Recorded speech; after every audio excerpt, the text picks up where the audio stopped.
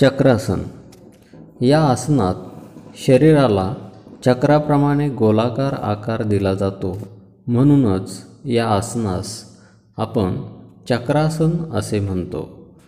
साधारणपणे हाताला आणि पायाला ताण पडण्यासाठी किंवा पाठीच्या मणक्याचे आरोग्य नीट राहण्यासाठी हे आसन केले जाते.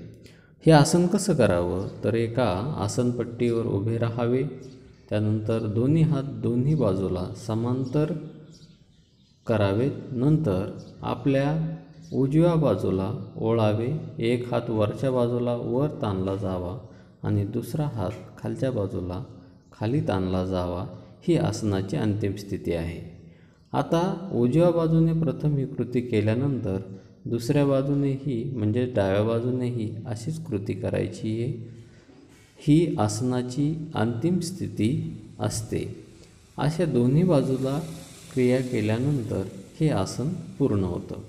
या आसनाचे फायदे म्हणजेच मेरुदंडाचा लवचिकपणा वाढतो. पोट व छाती आणि कमरेचे स्नायू यांना ताण मिळाल्यामुळे ते लवचिक होतात.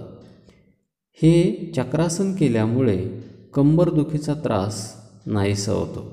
तसेच पाठीचे आरोग्यही सुधारते.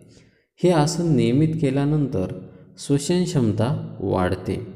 ह्या आसनाचा आणखी एक फायदा म्हणजे क्षयासारख्या गंभीर रोगास म्हणजेच टी बीसारख्या गंभीर रोगास प्रतिकारशक्ती वाढवण्यासाठी हे आसन अत्यंत उपयुक्त आहे. करोनाच्या काळातही श्वासक्षमता वाढवण्यासाठी चक्रासन खूप फायदेशीर आहे. चक्रासन करताना कोणती सावधगिरी घ्यावी?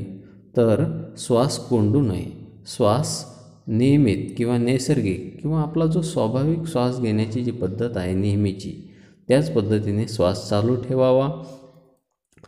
यानंतर हे आसन किती वेळ करावं? तर अंतिम स्थितीनंतर पाच ते दहा सेकंदापर्यंत हे आसन आपण केलं पाहिजे. हे आसन सकाळी करावं किंवा जेवणानंतर अर्ध्या तासाने आपण आसन करू शकतो. आसन कर केल्याने आपल्याला निश्चित खूप फायदे होतात. त्यामुळे हे आसन आपण नियमितपणे केलं पाहिजे.